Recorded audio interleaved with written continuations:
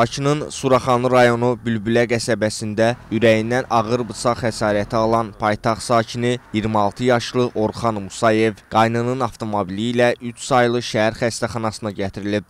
Həkimlərin müdaxiləsinə baxmayaraq yaralının həyatını xilas etmək mümkün olmayıb. Dərhal araşdırmalara başlayan Suraxanlı rayon polis idarəsinin 31-ci polis bölməsinin əməkdaşları qətli törətməkdə şübhəli bilinən 20 yaşlı İmran Cərullayevin yerini isti izlərlə müəyyən edərək saxlayıblar. İlkin məlumata görə cinayəti törədən İmran Cərullayevin Orxan Musayevə 50 manat borcu olub. Cinayət də məhz bu səbəbdən baş verib. Faktla bağlı Suraxanı rayon prokurorluğunda Cinayət Məcəlləsinin qəsdən adam öldürmə maddəsi ilə cinayət işi başlanıb, araşdırma aparılır.